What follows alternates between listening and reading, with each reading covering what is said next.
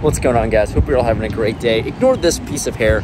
I don't know how to wear hats. We're back here at the Commerce playing uh, 10, 2040 Hold'em. Last time we played here, it went well. I'm gonna go back to where I can win because this is part of the uh, bankroll challenge. So uh, a little bit in the negative update here. This is the third episode of this bankroll challenge. I am currently down $21,000 ish, give or take. This hair is really obnoxious. I don't know why I didn't fix this. Anyways, currently down 21,000. Got some, need some work to do, but we're gonna hop in there. It's a beautiful day in LA. Look at this, look at this sunset. Palm trees, sunset. I should probably move here. Anyways, gonna play some poker. Let's run it up. Let's play some 10 20 40 here at the Commerce. I buy in for $20,000 to start, and right off the bat, we have a hand to play. With ace deuce of diamonds in the cutoff, I raise things up to 100 bucks. Get the button to immediately 3 bet me to 350, and action folds to me. Hmm, out of position against the button, 3 bets. You know, late position versus late position, he certainly could be wide, so you know, I'm trying to get a little spicy right off the bat. You know, I think literally this is my second hand that I've seen since I've sat down. I'm going to put in a four bet here, try to bluff with a wheel ace to $1,100. We're playing pretty deep, so there's definitely plenty more to play for if he calls, and that's what he does. So he does make the call, and we're going to see a flop, and the flop's going to come Jack 10 6 rainbow with one diamond. Overall, this is not the best looking flop for me. So I decided between checking and betting here. I think my opponent is going to have a lot of hands that connect on this board, and I'm not going to have as many as the four betters. So uh, I decided to throw out $500 here, kind of just praying for him to miss somehow. And for $500, very, very small bet, he does end up making the call. So, not feeling good about this one with just ace high, not a whole lot of equity here. The turn is the eight of clubs, so even worse for me you know, now there is like, I guess, queen nine's a straight, even though it doesn't make sense. There's just a lot of hands that connect with my opponent and not a lot of hands that connect on this board for me. So I check it over to him, trying to slow down, maybe just kind of giving up. And when my opponent checks it back, at least we get to see a free river card, which comes a queen. Okay. This is really, really nice because now ace king is the nuts. I have a lot more ace kings available, and I also have an ace in my hand. So that helps in terms of having the nuts straight here. So I don't think this is a card that I'm going to be checking on and giving up on, but instead I'm going to fire out close to a pot-sized bet of $3,000, just trying to pray that my opponent doesn't have much, maybe one pair, maybe king, queen, something like that, that wants to get out of the way. But then my opponent goes all in for like $10,000. Oh man, I guess I'm running into it once again to start off this session. So I'm uh, going to fold my ace high, of course, and I will lose this one.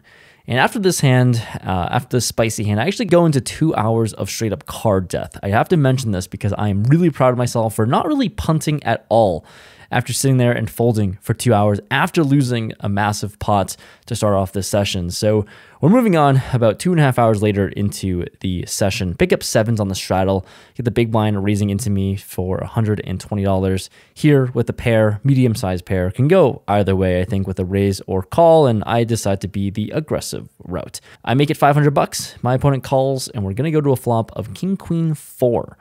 Not the best flop for pocket sevens, I must say. Action's going to go check, check. Turn comes a brick, just another card that I don't really want to put more money in the middle with, so it goes check, check again. River, honestly don't even remember at this point, but it doesn't matter because action's going to go check, check one more time because I don't really want to be value betting third pair. My opponent shows ace 10 of clubs and I win. So Nice. Nice to rebound after the first hand. Nice to rebound after two hours of card death, not winning any pots. I guess I'll take down the 500 bucks here. In the next spot, we play blind versus blind. The table's getting a little short, and the blinds are now 20 40. I'm in the small blind with pocket deuces, and I actually just decided to raise it up to $140 here. The big blind comes along and makes the call for 100 more, so going heads up to a flop of 8 three deuce. That's right. That's bottom set for your boy. We've waited so long. We're about three hours into the session with not many notable hands yet, but now bottom set in a dream. I start off with a check. A little slow play to my opponent here. Eight high flops aren't necessarily very good for me, I don't think. Anyways, he does throw out a bet of $200, and we've got him right where we want him. I am so putting more money into the middle here. I check raised to $700, a little bit larger, about three and a half X his 200. And my opponent makes the call. That's so exciting. I finally have a good hand and I'm not bluffing and I get action. So we're off to a turn, which comes the seven of diamonds. Makes the board a little bit dicey uh, with two flush draws out there now. Anyways, I'm not slowing down. I'm going for it all. I decided to throw out a bet this time of $1,800, sizing up for an all in on the river. Especially when there's two flushers out there, you want to size up more because you want to price them out of draws and all that stuff. And you could have combo draws. Anyways, for 1800, my opponent does make the call. So off to a river we go, which is the Jack of Diamonds. This is not necessarily the cleanest of cards that I wanted to see. You know, 10 9 gets there for a straight, the backdoor flush gets there. I can't really get called off too light by one pair anymore, like if you had a hand like ace 8 or something. Anyways, I don't think I can check this set though. As scary of a card as it is here, I think I just have to go for it and try to hope he has two pair, like 8 7 or something like that. So I'm all in for $3,000 total, less than the size of the pot. And let's just pray he has something. We're fast forwarding the video now because my opponent goes into the tank for two straight minutes. At this point, everyone at the table is just like gotten up. You know, no one really cares about this pot and everyone's doing their own thing on their phone and stuff. So no one's paying attention anymore. But I am hoping for a call, man. This downswing has gone so bad for me recently, and I just want to have it when I'm actually all in and I finally get a chance to. I've been bluffing too much. He does end up making the call. Oh my goodness, this is so good for morale. Overall, I win this pot. I show my hand, he mucks, and I'm going to stack my opponent. Let's freaking go. Very hyped about this one, of course. And there's a very good rebound into the session, three hours in. Haven't played many hands, but I finally got to stack somebody. With momentum on my side to pick up King 8 of Hearts in early position, there's a player who limps to my right for 40 bucks. I raise it up to $200 here, and I get some action. The big blind and Straddler make the call. Going multi-way, the flop comes ace 10 5 two clubs. I don't necessarily love this spot with just king high here, so I decided to check this one back, expecting king high to be good enough, I think. When the turn is e4, both players check it over to me again, and now seeing all this passivity must take some sort of aggressive line to either just get them to fold. Uh, I bet $500, both fold. Nice to win a couple hundred bucks without any sort of contention here. Moving right along with ace nine offsuit in the big blind, the small blind player raises it up to $110. He's a recreational, has been somewhat tight so far, but not too much of a sample size here. I decided to be aggressive and just isolate him to $400. And for 400, he makes the call. So we're going to play a three bet pot in position, and the flop is ace 10 4 rainbow.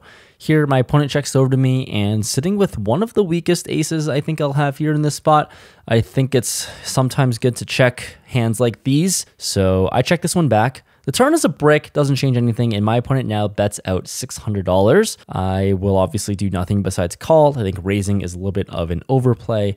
So we're going to see a river which comes a king. Now on this king, my opponent checks, and I think it seems really clear that I should be betting here for value because maybe he was bluffing with a hand like king, queen, king, jack, and now he has second pair and doesn't want a value bet, obviously. So I'm going to go for some value here with just top pair. I've played it super weird. This is one of the weirder three bet pots I've ever played, but I'm going to throw out $1,200. And he makes the call quite quickly. Doesn't make me feel really good about it when I show the ace nine. And of course, he flips over his hand. So that already means I'm losing. And he has ace jack. So out kicked here. Unfortunately, not a fun hand to lose because, you know, it seems like a relatively small pot, but I mean, my $1,200 river bet it definitely added up and took a pretty big chunk out of my stack here. Moving right along with 9-7 of hearts in the cutoff, there's a hijack player who limps once again to my right. I decide to isolate the 200, and now the button three bets to 600. Action folds to me. I think there's a chance my opponent can be doing this a little bit later, you know, trying to isolate my opponent who limped. So I decided to call, play a suspect hand out of position. We're playing deep, so everything is fine. The flop comes king, queen, queen, rainbow, and action goes check, check, which I think is a little bit interesting. You don't typically see many people check back on flops like this, but when we see the turn comes the jack of hearts, bringing in my backdoor flush draw, Well, I could certainly bet out here now, but I do think it's a little bit suspicious. Maybe slow playing like a full house or something. Many people do that. But action's going to go check, check once again. Now the river is a three. It doesn't change anything. I kind of feel like I want to bluff at this, but having hearts in my hand isn't very good to, to bluff with. So I don't know. I decided to check. Seemed like he was maybe trapping me, but no trap because he checks this one back with pocket nines. So I'm going to lose this one, lose 600 bucks here. Not a huge hand to report, but I did think that these dynamics were a little bit interesting. Maybe I'm just in my own head about these reads of my opponents. Maybe they're just raising because they have a good hand like nines. In the following spot with Ace Queen of Hearts, I'm on the straddle and we get some action this hand. Let me tell you. The low jack, very tight player, raises it up to $100. Small blind ends up making the call here, and I already have sirens going on in my head when this low jack player raises, but I think my hand is just way too good to not re-raise. I mean, it's kind of crazy to only play a single raise pot with a hand this strong, so I make it $450. Before the low jack player, I described him as tight. I already had siren bells when he raised pre-flop. He raises again for $1,250 pretty large four bet here, and he only has 5K in his stack. So he just put, you know, a, a, solid chunk, a big percentage of his stack into the middle, and there's not a whole lot more to play for. So I think this is really annoying, uh, mainly because he made the sizing so big, and he's been playing basically zero hands this session. So I don't really want to give him any more money. And if I were to call here, then there's like 2,500 plus in the middle, and he only has maybe like three 3,500 left in the stack. So not a lot to play for. Playing out of position is really tough with a hand like this. So let me tell you, this is painful for me. I don't want to give my opponent any more money. And I can't say I've ever folded a hand this strong pre-flop before in my life, but you know, it's gonna go into the muck in three, two, one. GG's me. I fold.